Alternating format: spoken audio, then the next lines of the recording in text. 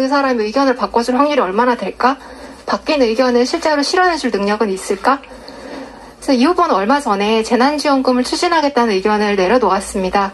알다시피 이 후보님이 굉장히 오랫동안 애착을 가지고 추진해 오신 일이라고 알고 있는데요. 그러니까 그럼에도 불구하고 국민의 반대가 크고 지속적이자 내려놓았고 선거운동에 대해서도 뭐 이런저런 비판들이 일작 과감하게 선대위를 지금 다시 꾸리고 있으십니다. 그래서 아, 지금 후보로 나온 사람들 중에서 내가 이 사람한테라면 그래도 아니 아닐 때는 아니라고 말할 수 있겠다는 생각이 들었습니다.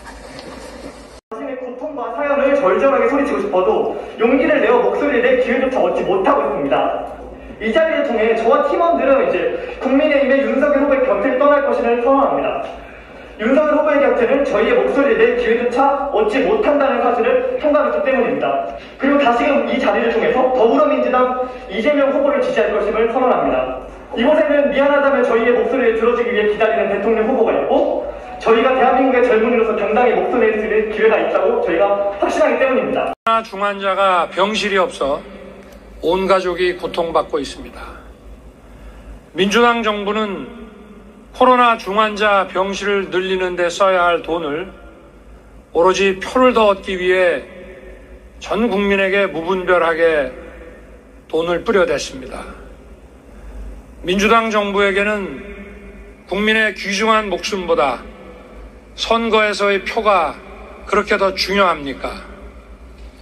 집 없는 국민은 급등한 전세 보증금과 월세 때문에 고통받고 또 집 있는 국민은 과중한 세금 때문에 고통받고 있습니다.